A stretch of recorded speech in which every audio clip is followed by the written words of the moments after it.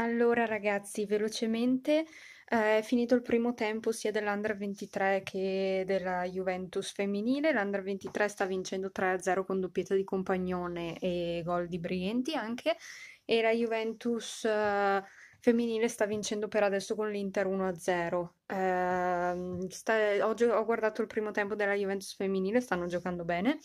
Speriamo bene per il secondo tempo, non potrò vederlo perché sto andando a lavorare, quindi niente. Ciao ragazzi, ci vediamo stasera con il post partita di appunto Juventus, ehm, Atalanta Juve.